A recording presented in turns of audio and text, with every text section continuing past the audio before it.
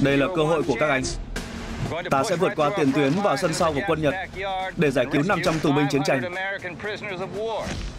Một cuộc đột kích đúng chuẩn và chỉ có thể thành công nhờ vào tốc độ, sự bất ngờ và hỏa lực mạnh. Tôi muốn các anh quỳ xuống và thề trước Thượng Đế Toàn Năng rằng các anh sẽ liều mình vì sinh mạng của các tù nhân. Cuộc đột kích vĩ đại thứ bảy ngày 23 tháng 6 lúc 9 giờ tối trên kênh Max Spashfield.